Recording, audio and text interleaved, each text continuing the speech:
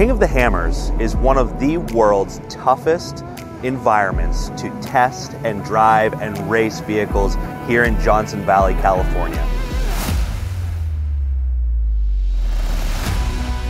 Dana's involvement with King of the Hammers includes our sponsorship of the EV spec class with our Spicer electrified E powertrains.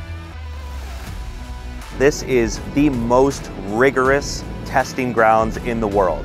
We've invested heavily in the EV marketplace and we are so excited to be a part of Ultra 4.